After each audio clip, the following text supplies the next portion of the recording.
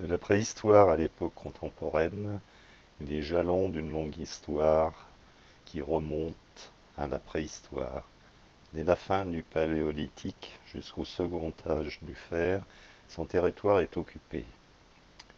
De nombreuses découvertes, notamment dans la plaine de Vèze, ont révélé des traces d'habitats et d'objets qui attestent une forte densité de l'occupation préhistorique et proto-historique gauloise.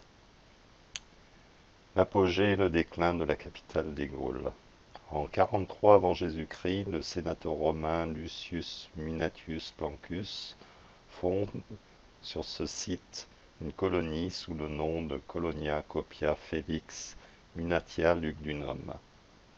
Si les débuts de cette colonie sont mal connus, l'essor de la cité est rapide, grâce à son emplacement stratégique, au confluent du Rhône et de la Saône, entre le littoral méditerranéen et le nord de l'Europe.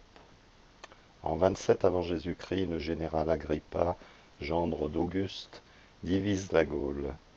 Lugdunum devient la capitale de la province de Gaule lyonnaise, le siège du pouvoir impérial pour les trois provinces gauloises et capitale des Gaules. Deux empereurs romains sont nés à Lyon, Claude en 10 avant Jésus-Christ et Caracalla en 186. À la fin du 1er siècle après Jésus-Christ, la ville est à son apogée. La population est estimée entre 50 000 et 80 000 habitants, ce qui en fait l'une des plus grandes de la Gaule, avec Narbo Martium, Narbonne. Le christianisme y implante vers le milieu du IIe siècle.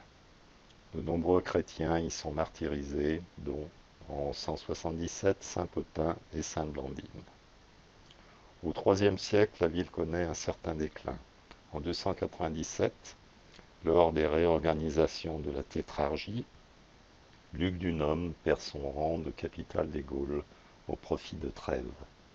Entre la fin du IIIe siècle et le IVe siècle, la ville haute est abandonnée au profit d'emplacements plus proches des cours d'eau tandis que certains édifices publics de la colline de Fourvière demeurent utilisés jusqu'au IVe siècle au moins, les occupations se concentrent au sein de l'actuel quartier du Vieux-Lyon, ainsi que sur la presqu'île, où se serait implanté un castrum, un camp ou village fortifié, sans cependant qu'aucun vestige archéologique ne l'atteste.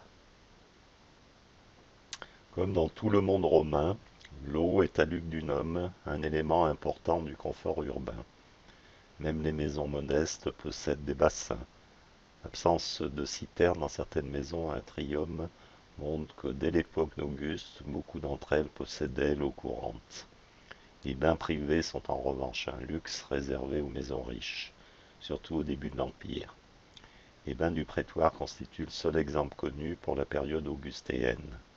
Aucune des maisons de la rue des Farges ou du Clos du Verbe incarné n'a livré d'hypocauste, en liaison avec des bains.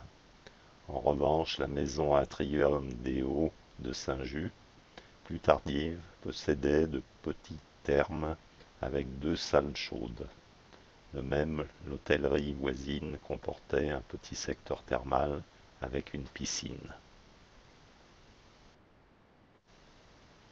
Pour approfondir la découverte des sites archéologiques de Lyon antique, je vous propose d'aller à la visite du musée gallo-romain de Lyon-Fourvière.